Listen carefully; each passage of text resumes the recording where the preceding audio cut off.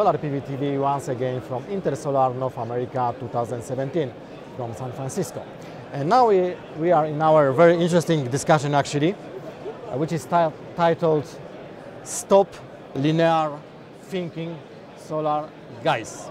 And uh, it's a pleasure to introduce our speakers. So we start first with uh, Eckhart Gouras, who is a chief of, I would say, one of the most important and leading media in the solar industry, PV Magazine. Hello. Uh, we are with Tony Seba. For some people, I would say man who needs no introduction.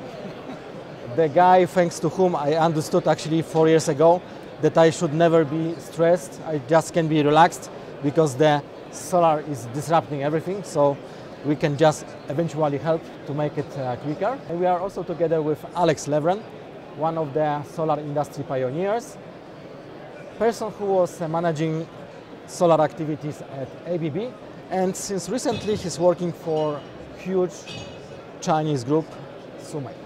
So maybe I would like to start first with Tony. So yesterday we had a dinner and uh, we tried first to make a bit more awareness amongst the solar leaders, yeah, that they should stop thinking in a linear way. Yeah? Yes. They should think huge. Yes. This is a technology disruption.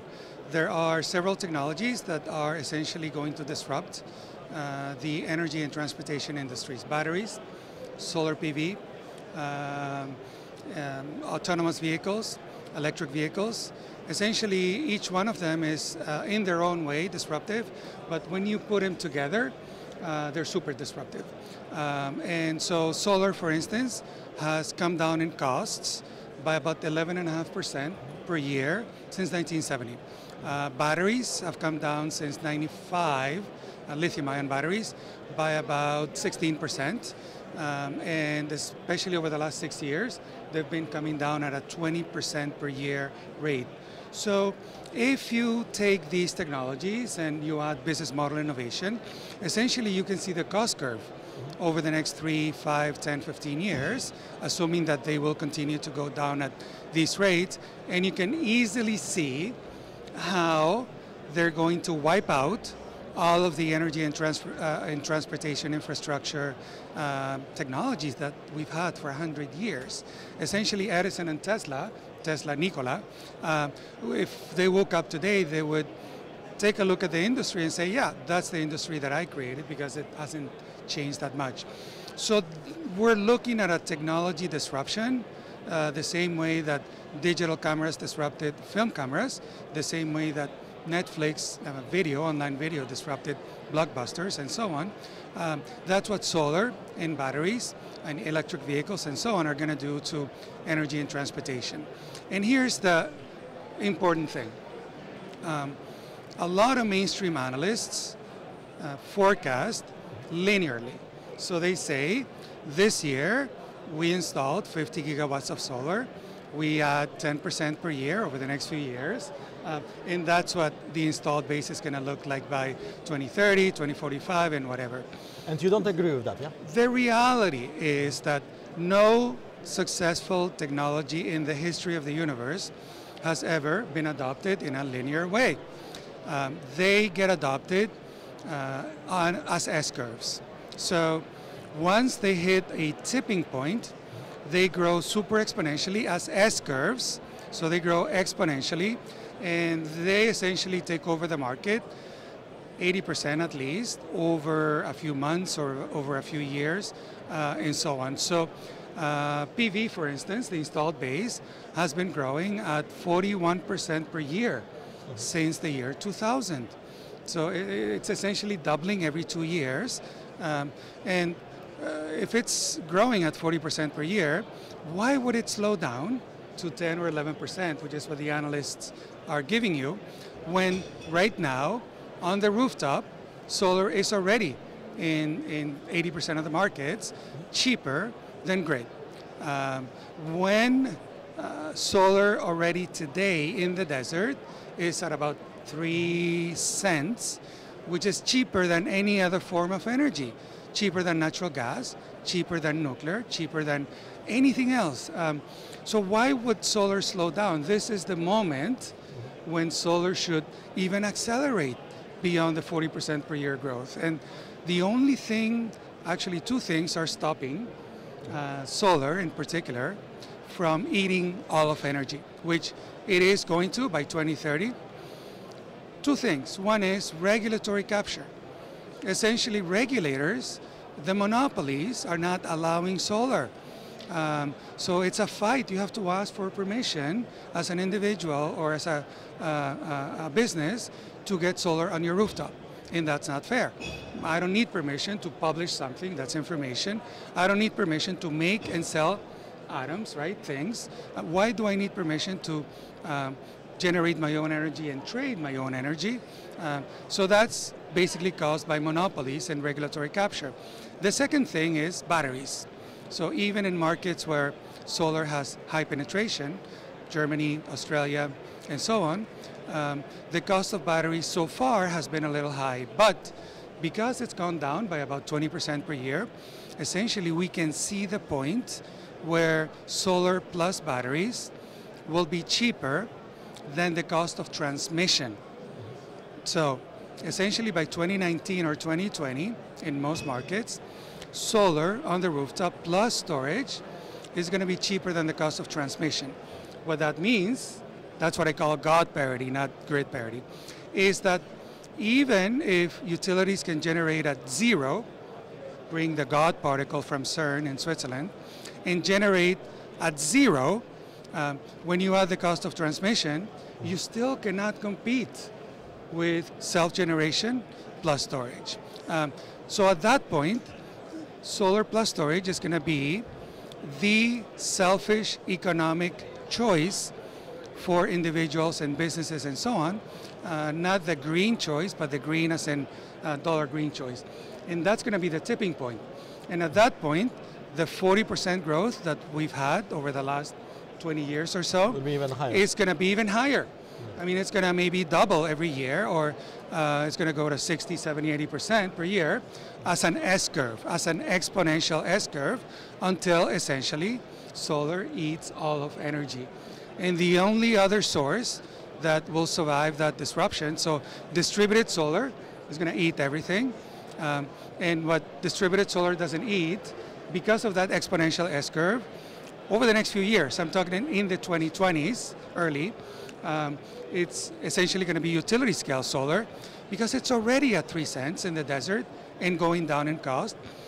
But in northern countries that don't get sunshine for weeks or months at a time, it's going to be wind. So wind is going to complement solar, um, but it's going to be a complement to solar because uh, of many reasons. Uh, you can't have distributed wind uh, in the home and in the cities, and it still needs the cost of transmission and whatever. But wind is going to cost without subsidy. I mean, I'm talking about no subsidies. Uh, wind is going to eat everything else. Nukes, uh, it, it, already is cheaper than nukes, and, and, and it's getting to the point of coal um, and natural gas and so on and so forth. So uh, the quick answer to the question is that these are technology disruptions, and technology disruptions are adopted, technology products and services are adopted as, as exponential S curves. Exponential X curves, not uh, S exponential S curves, not linear, uh, because no technology has been adopted linearly in the history of the universe.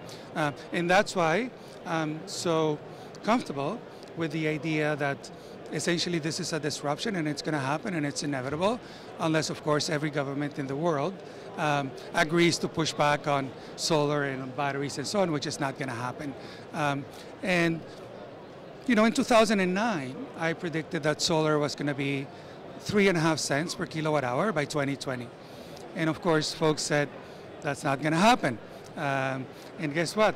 We're already there. Uh, it's 2017 and four years ago, I predicted. So you were too much linear, actually. Uh, you know, I, I, I, I, you know, it, it, it's. Um, I'm using the technology cost curves and you know the the, the, the Seba technology disruption framework. Um, and you know, four years ago when we met, uh, basically with clean disruption, I predicted that by 2017, 2018, we would have the market would bring several uh, electric vehicles with 200 mile range in the 35 to 40 thousand dollar um, price range, no subsidies. Guess what? We already have two, the GM Bolt and the Tesla Model 3, and Nissan has announced its 200 mile range vehicle. So by 2018, we're going to have several. And 200 miles is the minimum that you need to go mainstream. So, and at the time, four years ago, just four years ago, um, folks in the auto industry and the mainstream linear uh, analysts said, You're insane. But guess what? I'm right. I was correct to the month.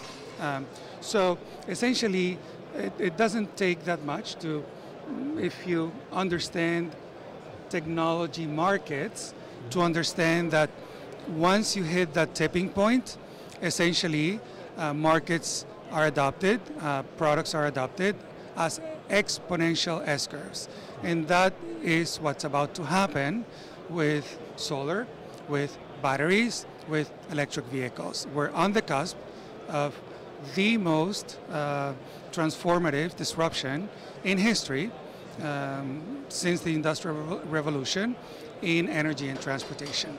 Okay, so maybe now Alex, uh, so Alex, uh, you are one of the solar pioneers. You are entrepreneur, then you are working for leading inverter manufacturer, then you are leading the whole solar initiative at ABB, huge multinational, and now you changed to very, let's say, strong Chinese conglomerate. And uh, even you are a solar pioneer, you are very dynamic, yes? And I think you don't agree actually with the linear um, point of view. I, I don't agree with linear. I, I uh, closer to Tony's opinion than linear, but there are certain factors that uh, damping the the exponential growth, uh, and we need to overcome these factors. One is uh, technology should contribute to uh, reduced cost at the higher profit. Okay, meaning panels, uh, inverters, batteries. We need the industry to start making money. Otherwise, the financial element or economical element for growth is, is, doesn't exist and it slows down the growth, okay? So this is number one. We need to use the technology in all elements, all components, and make it economical and profitable. Because there is no industry that grows on, on losses as we have seen for many years. The second element and you mentioned also in your discussion, Tony, which I agree, the regulation. When we have governments that impose tariffs, tariffs on the, uh, say, incoming goods and so on, instead of developing localized industry and helping the localized industry, the tariffs are very disruptive in a negative way. It slowed down the evolution of industry that was growing so fast and so beautiful. Now, in the past, we had feed-in tariffs that were contributing to the growth. Now we have opposite tariffs that are slowing down the uh, uh, or income of uh, or, or um, sorry import of goods to different countries. That is not uh, good for the industry if we would like to have exponential growth. And the third element is the interaction of um, regulation uh, related to grid connectivity, to batteries, to storage, safety related to storage, and all this has to come faster. Because if we don't have standards that help us to connect batteries today, then it slows down the installation of the batteries. And in spite of the fact that we know about technology, we can connect it to the grid. And the last but not least, in, when we have today oversupply in certain areas, like you mentioned, Tony, in Germany, in, in California, we have oversupply of, of solar energy, which causes very big inefficiencies in the whole grid uh, energy uh, generation. We need to have uh, software platforms that are adequately supporting the co connectivity of the batteries, storage, and how they employ uh, uh, the solar energy, excessive solar energy, to charge the batteries on a grid levels not home levels. Because we at home it's very easy. We can charge the battery and, and the inverter or the converter can drive the charging. When you talk about utilities, it becomes very complex phenomena. We don't have the utility drive to develop these new tools to, to combine or interact the solar, the conventional central plants with battery and, and create this very effective methodology to drive the system to optimization and of course grow the profitability, grow the, the industry. So I, I do believe that we're at a very good point today. Technology is available, we understand what the interactions are and so on, but we need to push a little bit further on the government, on the technological advancement and financial benefits of the industry. So would you like to, Tony, uh, comment on that? Because I... Um, so I, I, I, I, agree with, with uh, most of what you're saying, Alex. Um, you know, I was an early employee at a then little company called Cisco Systems. Uh, and you know, Cisco has done pretty well in, in building the, the internet, uh, the worldwide internet infrastructure. Um, but most of the companies, since you mentioned software, uh, who uh, generated most of the wealth, if you look at the top uh, wealth market valuation and profit making companies, Facebook, Google, Amazon, uh, Alibaba, and so on, they're software companies. Um, and even Apple could be considered a software company with, you know, hardware products um, that are used as an excuse to basically sell the software. And, you know, essentially these are the companies who created wealth on the infrastructure of the internet. And what I think is going to happen and is happening is that we're building the internet of energy and the internet of infrastructure of, of, of transportation and software is where the wealth is going to be and products that uh, basically are going to be built on top of that infrastructure. Um, and essentially, so I agree with you that we need to manage that, but we need to allow the market. I mean, we essentially need, just like um, the internet would not have happened in the US without the AT&T monopoly being broken up and deregulated, um, you know, the internet would have happened somewhere else. And Google and Facebook and so on, and Apple would not be in Silicon Valley, would not be American companies. They would be companies from another country. Um, and in fact, if you look at history, um, France developed many of the technologies that essentially became uh, conceptually the internet with something called Minitel. And you know, basically five years before the web, uh, Minitel, you, could make a, a, a train reservation, mm-hmm. you could date on, in France with the Minitel. It was in 70s, no? It was in the 80s, yeah. Um, but Minitel, where is Minitel? Nowhere. Because it was a monopoly. It was a France telecom monopoly. Mm-hmm. And essentially that squashed innovation.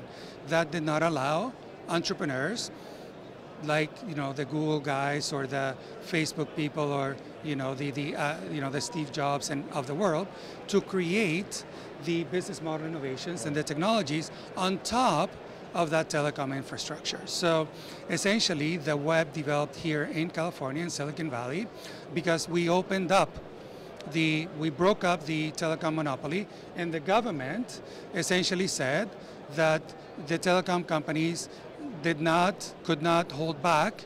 Essentially, if you're an internet service provider, you have the right to connect to the telecom infrastructure. Uh, today, we have to ask for permission from the utility monopolies to connect to the grid. But and if we had that back then to connect to the uh, internet, essentially it wouldn't have happened the way it happened. So um, what we need is for the government to get out, uh, to deregulate the market so that uh, anybody has the right, anybody, any individual has the right to generate, store, and trade energy. I want the right to, you know, store my energy and sell it to my neighbor if I want. That any company can uh, generate on their rooftop, uh, if you're an industrial customer, if you're a hotel, and so on, their own uh, PV, uh, store it, and sell it to anybody else. Um, and at the utility scale, we also want to store all the wind and all the solar and so on, but let the market make that happen. Uh, we essentially are not uh, going to succeed if we keep the monopolies that we have today, that's the vertically integrated monopolies, the utilities that are generating and storing and, and not storing, uh, uh, transmission and, and so on. And by uh, basically asking us to, uh, you know, go to the utility and ask for permission, we're essentially doubling the cost in the U.S. Uh, you know, a dollar, a dollar fifty, out of two and a half dollars of the installed cost of rooftop solar is essentially regulation. So we need regulation out of the way. We do need standards, uh, but this is a 50-year industry. It's not like, you know, PV is going to catch fire or, I mean, you know, basically this is a 50-year-old industry with a lot of standards. Uh, we need to have standards, but we need the freedom for individuals to, this is about liberty. Um, and we need the freedom for anybody to generate and store and trade energy, just like we have freedom to make things and sell things atoms, and just like we have freedom to publish things, information. So why do we have freedom of information and of making things, atoms, um, but we don't have the freedom to generate and sell energy? That doesn't make any sense. So we need the government, we need the regulatory approval to ease, we need to deregulate the monopolies uh, and let the market compete. And when we do that, essentially, we're going to ease the the, the transition, the disruption, because entrepreneurs are going to make it happen because they're going to build the software, the applications, the tools, the power electronics, and so on that are going to make a lot of money because otherwise they would not get funded. Um, and many of them are going to be acquired by the large companies. Many of them are going to go public and become the Googles of energy and so on and so forth. So I'm in agreement. We need to essentially deregulate the industry and let the market work.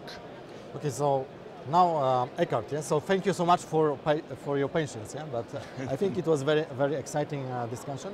I would like to ask you, Eckhart, because uh, you are owner of uh, one of the most important media in solar, mm. and you are speaking as an owner with uh, C-level people in the industry and on the globe. Do you still notice, you know, this linear thinking amongst the leaders, or you can notice that it's a bit changing? Towards the exponential thinking? Well, I, I, guess it's a it's a long-term process, Tomasz. You know, I think solar was sort of a niche play, and you know, it, it, it took a while to kind of be even noticed in the energy world.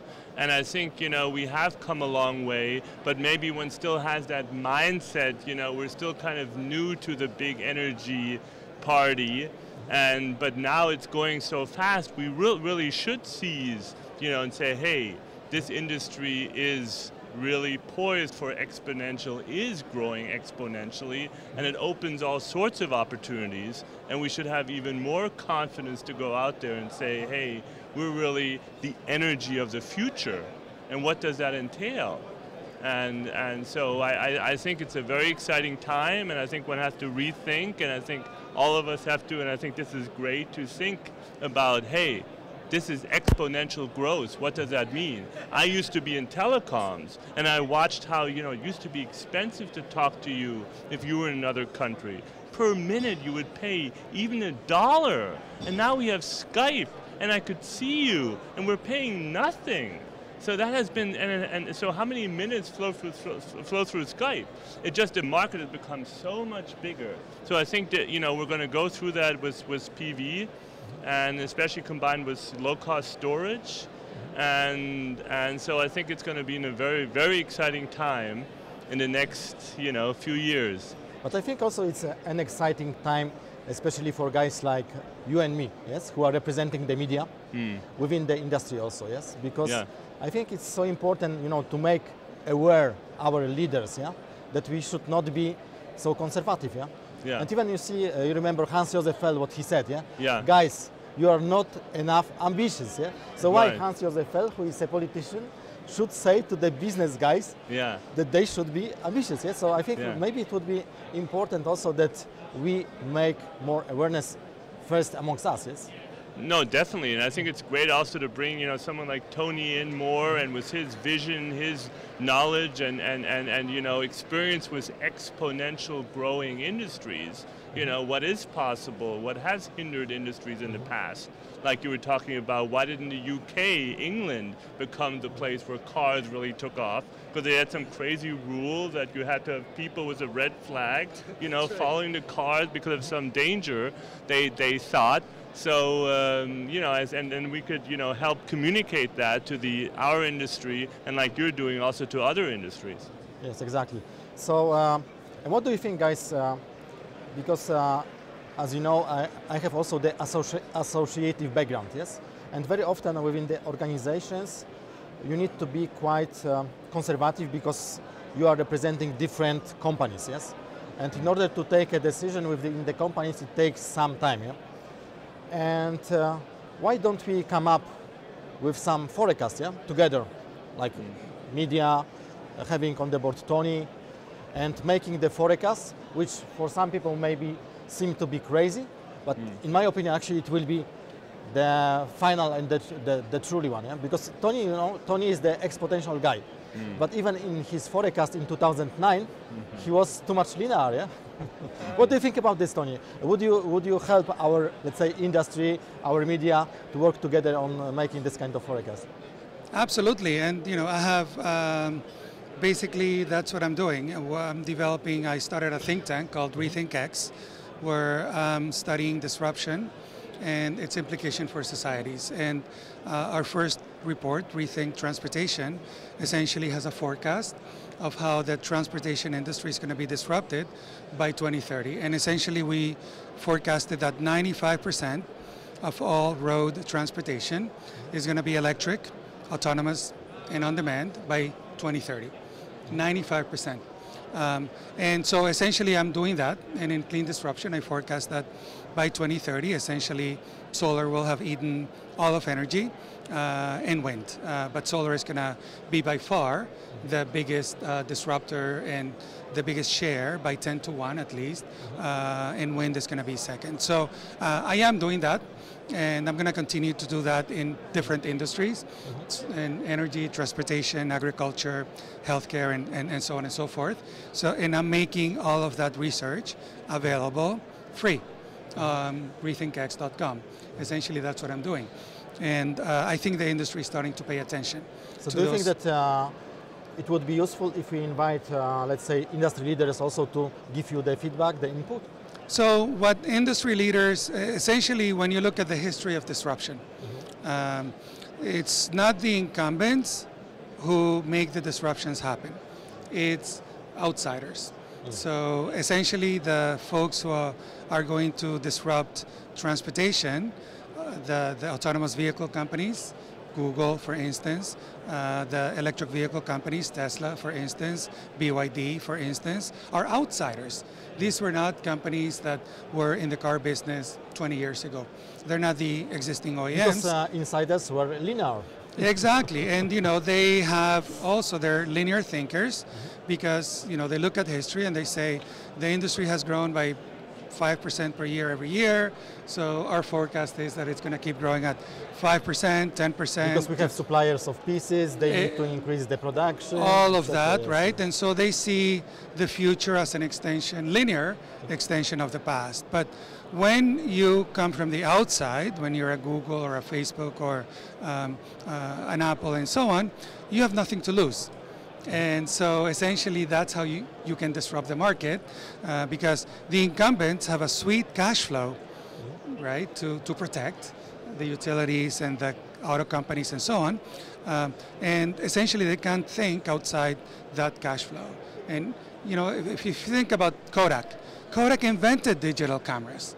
They invented digital imaging, and yet they were disrupted by digital cameras. How is that possible? They, they not only knew the technology, they invented it. Uh, and the reason was that they were addicted to the cash flow uh, to the existing business model. They could not disrupt themselves. That's a very difficult thing to do, both culturally and also from a financial point of view. Uh, So we are making uh, our industry leaders a bit stressed, yeah? um, they, they, they should be uh, because uh, they should see this as an existential threat. I mean, within a couple of years, you're going to see utilities, if they're not deregulated, come back to governments and ask, you're going to see coal power plants asking for subsidies. You're going to see natural gas power plants uh, asking for subsidies. You're going to see, basically um, the old energy systems asking for subsidies because they can't compete with solar and wind. Mm-hmm. And that is going to start happening within two years. You're going to see the utility industry on its knees. It's and already happening with the trade measures. I think that's indirectly probably the traditional energy industry looking for ways to protect itself from the solar menace. Yes, yes, exactly. So they're asking not just for subsidies, but for protection yeah. uh, from the disruptors. And when you ask for protection from disruption, all you're doing is postponing that disruption in your country, right? So essentially, all you're doing is making your citizens poorer, and all the innovation that is going to happen is going to happen in another country. Um, so if in the United States, for instance, um, we push back against clean disruption, against solar and against batteries and against um, electric vehicles and autonomous vehicles and so on, essentially all we're doing is postponing that disruption in the US. But all we're doing is making China great again. Uh, China is going to make all of these uh, technologies happen. Um, they have invested in, and are committed to making big you know, battery infrastructure and solar and EV and so on, um, autonomous vehicles. So why? Because they're the outsider. I mean, they, they, they're not the ones who are going to protect a 100-year-old electricity industry or car industry and so on. In this case, they are the disruptor. Um, and just like uh, America became the 20th century world power uh, in, in a big way because the UK stopped its own auto industry with the Red Flag Act, that's what it's called, where you know essentially the horse carriage industry plus the railroad industry lobbied against this new thing called the car. Um, and so they had this red, you know, they, the, the, they passed this regulation that you had somebody who had to walk in front of the car 60 feet in front, 20 feet in front of the car, essentially uh, because it was dangerous and blah, blah, blah. if we do that in the US with autonomous vehicles and electric vehicles and so on, all we're going to do is essentially export the disruption, allow another country to become the world center, the Silicon Valley of energy and transportation, just like the UK essentially that's why Alex Levran. is so smiling, eh? because he's working one for, uh, for the Chinese company now. Yeah, yeah. So essentially, the UK by looking inwards uh, and protecting its old industries, they allowed the new industry, auto industry, which, by the way, uh, by 1950 was generating six, um, one out of uh, one out of every six jobs in America in 1950. Um, was essentially from the auto industry. And also, the auto industry helped us win the World War II uh, because they were the ones who built tanks and, and bombs and, and, and, and, and airplanes and so on because we had that infrastructure. Uh, and if we hadn't had it, things could have turned out differently. So America became the world power in the 20th century in big part because the UK turned protectionist and turned inwards. And if we turn protectionist and inwards, essentially we're going to allow China to be the America of the 21st century. Um, and essentially we're not going to, mm, you know, um, be the leaders. The Silicon Valleys of energy and transportation uh, are going to be based in China, not in the US. Okay, so uh, because, because Alex uh, was smiling, yes? so you are working, Alex, for SUMEC, which is uh, part of the big conglomerate. Uh, and uh, you know the CEO of SUMEC since 10 years. And as Tony was saying, China is now becoming the new disruptor, yes, in the new industry. Can you confirm that? And uh, how do you see, you know, working with the Chinese leadership? And do they also feel this opportunity now on the market? Well, I uh, cannot speak for Mr. Chai, the, the president of SUMEC. Uh, although I know him very well. But I can say that uh, I fully agree that uh, uh, the outsiders and China in energy was outsider. I agree with you completely. They elected to go after the renewable energy because they needed the clean energy sources simply because the pollution levels were so high. So electrical vehicle, the electricity generated by solar, electricity generated by wind, where they became uh, very strongly the leaders of uh, the, the free world, came as a necessity to create new industry and jobs, but also as a necessity because they had no choice. It's, it's a, something that they needed to, to survive with the pollution levels and both chemical underground and, and air and all this. So yeah, they, they are now the leaders and they're developing electrical vehicles, they're developing batteries, they're developing um, uh, solar, wind, and so on and so forth. But uh, coming back to, to your point, uh, to, to get uh, uh, a, a, conglomerate of uh, different companies and, and define the, the goals for the industry and the, how the exponential uh, growth should happen. I would recommend that we'll have three different institutions. One is utilities, because we still have utilities that do not believe in renewables, okay? Now, we have the other, the opposite sign in Europe where utilities are uh, selling the non, uh, the conventional utilities, becoming only renewables. But here in the United States, we still have a little bit of a pushback by the utilities to the renewable resources. So number one, we should include in this utilities. We should include Department of Energy and, and, and the government because they need to allow the, the, the, the regulation to be more uh, supportive to the industry. And then, of course, the industry um, uh, members themselves. But I don't see companies that will object to grow renewables mm -hmm. as much as utilities or the government. And if all three will work in harmony, then we'll get exponential growth. Then we'll get exponential growth. Do you agree with this, uh, Eckhart? No, I think that's well said, Alex. If all three, then certainly growth will happen much faster. I somehow think it's inevitable that it will happen, you know, and and and. Uh, but I think at some point also it's very important at the end the voters, grassroots. If that support, like in Nevada we saw, there was a big pushback. Now it's a bill of rights to kind of yep. create your own energy. Who would have thought they, they, they got rid of net metering? It looked like Nevada would be a, you know, wouldn't be very solar friendly. Now it's again even more solar friendly than before they got rid of the net metering. So I think grassroots support is very important It will ultimately also bring the government and then the utilities over to our side, so to speak. So do you agree guys that since today our main message will be to the audience. Stop thinking linear, solar guys. Very good. Yeah. yes, of course. And that's the way technology markets work. Stop thinking linearly, think exponentially. Okay, so thumbs up for solar. Thumbs up. Yay. and we, uh, as media, of course, uh, with Eckhart, with PV Magazine, will make uh, this message, you know, distributed widely. Yes. Yes. Okay, thank you so yeah. much. Thank you. Thanks you uh, so much for coming. And that was Solar PV TV from Intersolar North America 2017 from San Francisco uh, with the easy, clear message. Stop thinking in linear way, solar guys. Now there is a time for exponential growth. Thanks for watching. Thank you. Thank you. Thank you.